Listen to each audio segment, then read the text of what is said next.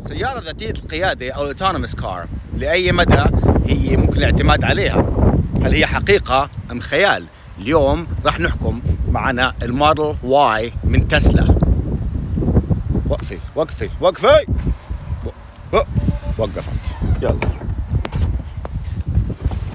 يلا نسوقها ونحكم بحالنا إحنا. سيارة تسلا واصلة درجة ثانية من خمسة من ذاتية القيادة. خمسة كونها مية في المية ذاتية القيادة. إحنا سجلنا بالبيت الثالثة مع اتفاقية مع تسلا ملخصها الله لا يردني إذا صار في إشي. الكاميرات والحساسات بتحفظ سرعة السيارة بناء على اللوحات الموجودة في الشارع. السيارة بتضلها بالخطوط الموجودة في الشارع يمين شمال. إذا حطيت فيها الغماز بتغير الخط إذا حاب تتدخل.